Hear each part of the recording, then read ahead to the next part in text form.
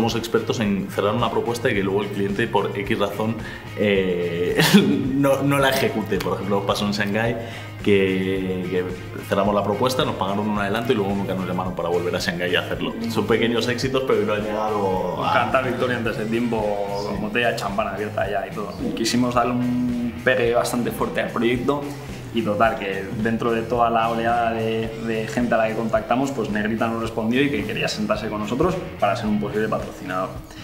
Total, que me fui a Barcelona con la propuesta a, la fábrica de Negrita y a sentarme con el brand manager y a la que me siento con él empieza a contar toda la historia, llegamos al preso y, y le pidió 135.000 euros. El tío se me queda blanco y me dice, tú, tú, tú, estás dando cuenta que me estás pidiendo más que el Viñarro. vale, tío, pues nada.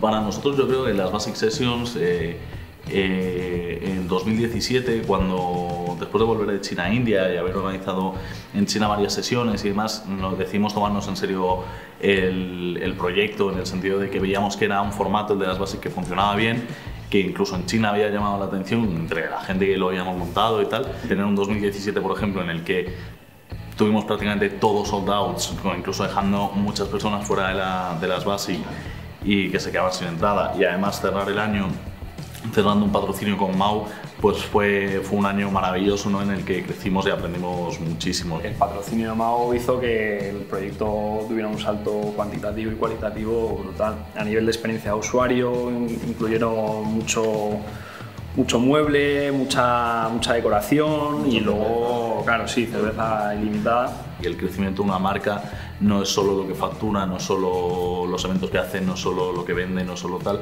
sino la propia comunidad que tiene detrás y si es un apoyo como el que tenemos nosotros, que, que es verdadero y que es cariño y amor a la marca y a lo que hacemos, ¿no? Entonces eso, eso siempre ha sido muy importante y, y motivo de orgullo. Hostia, es que esa pregunta, tu lane, fuera coñas, además de todo lo bonito y esto no, no es malo, pero bueno, junta personajes muy dispares y gente totalmente diferente.